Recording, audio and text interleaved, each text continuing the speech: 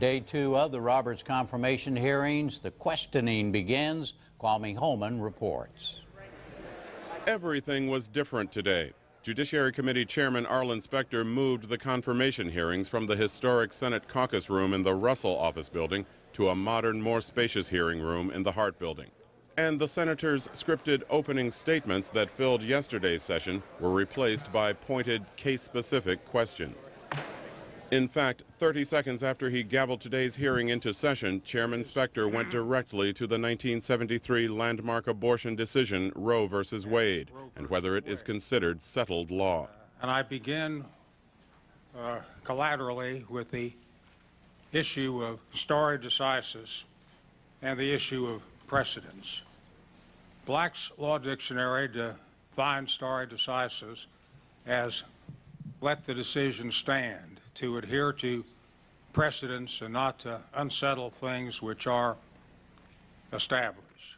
Specter cited as an example Casey versus Planned Parenthood, the court's 1992 decision that for the most part upheld Roe. In Casey, uh, the key test on following precedents moved to the extent of reliance by the people on the precedent, and the Casey had this to say in a rather earthy way. People have ordered their thinking and living around Roe. To eliminate the issue of reliance, one would need to limit cognizable reliance to specific instances of sexual activity. For two decades of economic and social developments, people have organized intimate relationships in reliance on the availability of abortion in the event contraception should fail. That's the joint opinion, rather earthy in its context. Would you agree with that? Well, Senator, the importance of settled expectations in the application of stare decisis is a very important consideration. That was emphasized in the Casey opinion, uh, but also in other opinions outside uh, that area of the law. Uh, the principles of stare decisis look at a number of factors. Settled expectations, one of them, in, as you mentioned. Um, whether or not particular precedents have proven to be unworkable is, is another consideration on the other side. Uh, whether the doctrinal bases of a decision have been eroded by subsequent developments. For example, if you have a case uh, in which there are three precedents that lead and support that result, and in the intervening period, two of them have been overruled, uh, that may be a basis for reconsidering the, the prior precedent. But there's no, there's no doc, doctrinal basis erosion in Roe, is there, uh, well, I, I, feel the need to stay away from a discussion of particular cases. I'm happy to discuss the principles of stare decisis. Uh, the joint opinion then goes on after the statement as to sexual activity uh, to come to the core issue about women being able to plan their lives. Quote, the joint opinion says, the ability of women to participate equally in the economic and social life of the nation has been facilitated by their ability to control their reproductive lives. Uh, do you agree with that statement, uh, Judge Roberts? Well, yes, Senator, as a general proposition, but I do feel compelled to uh, point out that I should not, based on the precedent of prior nominees, uh, agree or disagree with particular decisions, um, and uh, I'm reluctant to do that. That's one of the areas where I think the prior nominees have drawn the line when it comes to do you agree with this case or do you agree with that case, and uh, that's that's uh, something that I'm going to have to draw the line in the same well, place. I'm not uh, going to ask you whether you're going to vote to overrule Roe or sustain it, but we're talking here about uh, uh, the jurisprudence of the court and their reasoning. Let me come to another key uh, phase of uh, Casey, where the joint opinion says a quote terrible price would be paid for overruling Roe. Um, I do think that it is a jolt to the legal system when you overrule a precedent. Uh, precedent plays an important role in promoting stability and even-handedness. It is not enough and the court has emphasized this on several occasions. It is not enough that you may think the prior decision was wrongly decided. Uh, that really doesn't answer the question, it just poses the question. and you do look at these other factors, like settled expectations, like the legitimacy of the court, uh, like whether a particular precedent is workable or not, uh, whether a precedent has been eroded by subsequent developments, all of those factors go into the determination of whether to revisit a precedent under the principles of stare decisis. Chairman Specter then moved to a broader discussion about the right to privacy and whether Judge Roberts believed it was protected by the Constitution. Senator, I do. The right to privacy is protected under the Constitution in various ways. Um, it's protected by the Fourth Amendment, which provides that the right of uh, uh, people to be secure in their persons, houses, effects, and papers uh, is, is protected. Uh, it's protected under the First Amendment, dealing with prohibition on establishment of a religion and guarantee of free exercise. It protects privacy in matters of conscience.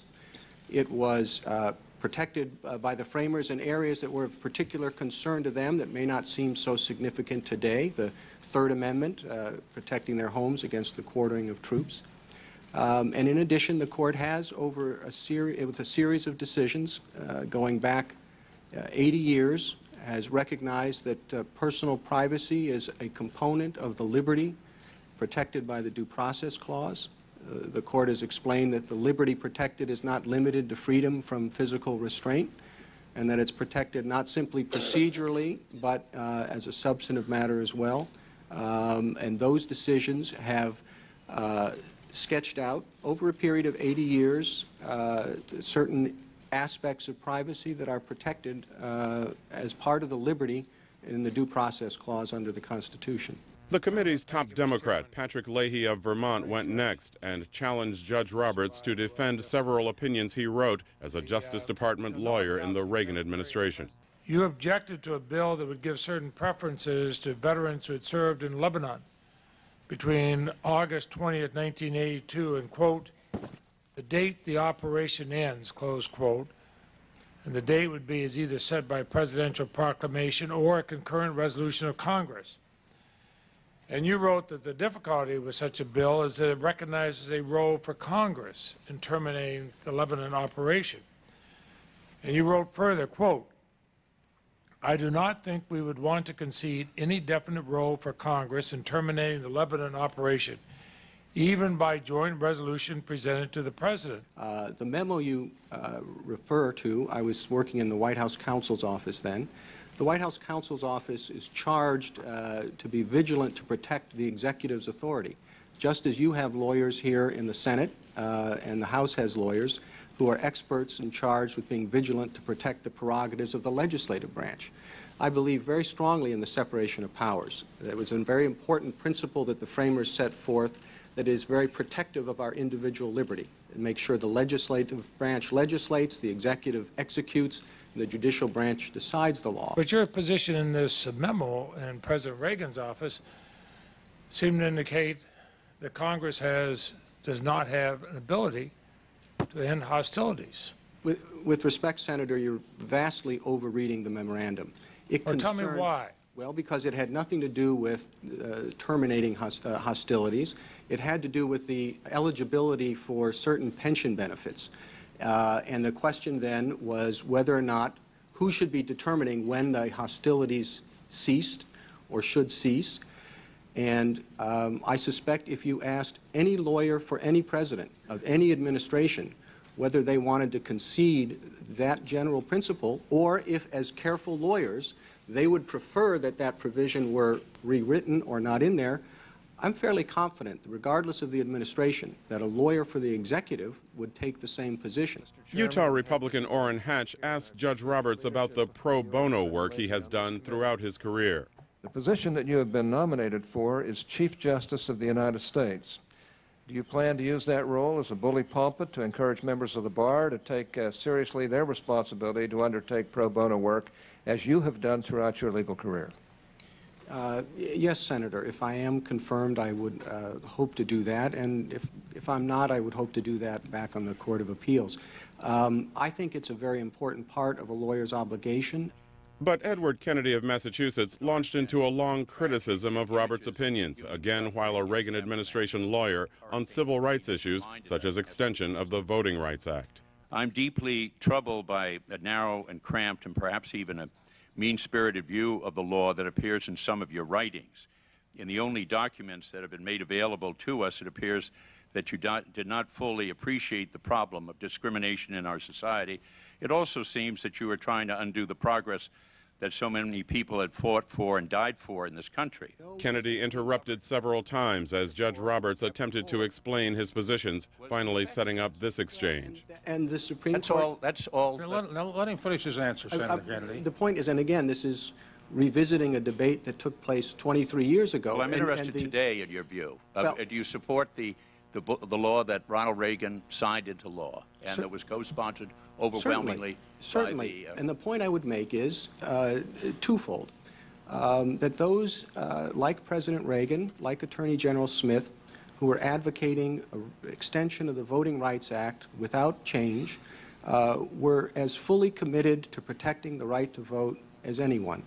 Um, Could I- that Now, now let him finish his answer, Senator Kennedy. and the articulation of views that you read from uh, uh, represented my effort to articulate the views of the administration and the position of the administration uh, for whom I worked, for which I worked uh, 23 years ago. Judge Roberts, for The questions posed by Iowa Republican Chuck and your family Grassley dealt with the role of the Let me remind judiciary in connection with the other two branches of government, the executive and the legislative. Some legal scholars claim that when the political branches of government are slow to act, the broad and spacious terms of the Constitution lend themselves to uh, court-created solutions. Do you agree with this role of the court?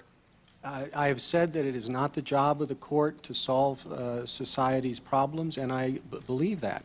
Um, It is the job of the court to decide particular cases. Now, sometimes cases are brought, and the courts have to decide them, uh, even though the other branches uh, have been slow to act, as you say. Uh, You know, Brown versus Board of Education is a good example. Uh, The other branches in society were not addressing the problems of uh, segregation in the schools. They were not just slow to act, they weren't acting. Uh, But that didn't mean the courts should step in and act. But when the courts were presented with a case that presented the challenge, this this segregation violates the Equal Protection Clause, the courts did have the obligation to decide that case uh, and and resolve it, and in the course of doing that, of course, uh, change the course of American history. Along those same lines, Wisconsin Democrat Herb Kohl asked Judge Roberts how the courts should react to the tragedy that unfolded following Hurricane Katrina. But in spite of all of our laws and all of our rules, we still s- saw what happened down in New Orleans. And uh, the people who were left behind were people who had not had educational or employment opportunities. And the question I asked whether was whether you, as a person who aspires to become the Chief Justice of the United States, sees a particular role other than continuing the role that you observe we are following now, particular role for improving our, our ability to respond to the needs of those people who live under those circumstances.